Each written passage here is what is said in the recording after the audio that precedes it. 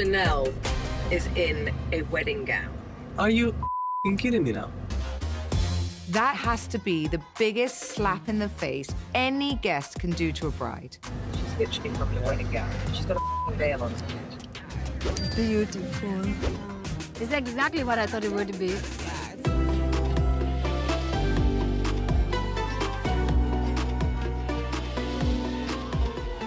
Oh, she's there. Hi. Hello. Hello.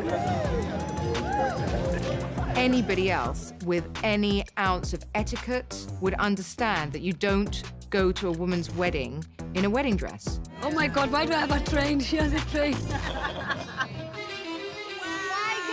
Oh oh, Did you come as me? The lace, the train, the veil, and the blonde blonde wig. I look less bridal than her.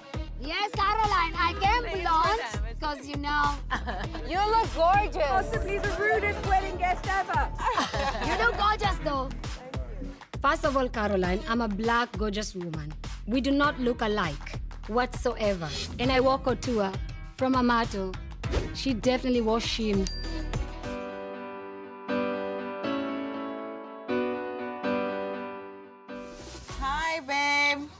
How are you? I'm good. How are you? Good. You look beautiful. Oh my god, I just woke up. I look like sh- you can never look like. sh- I had a long night. Why? What happened? You went out with your friends that are visiting. Yeah, yeah, yeah. They're visiting, and I had Sara over to have dinner with us. Oh, that's good. And it went left. Wait, wait, wait. Left with who? Sara made a comment. It's like, yeah, like I feel like you should be a lot more affectionate to your son. Hold on, bitch. I don't know anything about Adam, right? No, no, no, you don't. You need to be closer with him. My- With my with my child? The way you speak to him.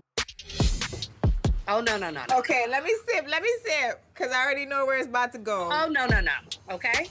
I like Sara, but she is the queen of giving unsolicited advice. My mother was very militant. Why don't you break that generational cycle? No, you guys can put that kind of energy to something very useful. Sara, just talk to Sara, each just other. just Talk be quiet for a minute. Just be quiet for a minute. She's like a walking Instagram post in real life. You can't pour from an empty cup. And it's like, girl, we don't need that. We're already on Instagram. I lost it, Lesa. Yeah, I don't like that. Why would she say that? Nobody asked you for your advice, Sara. So mind your business.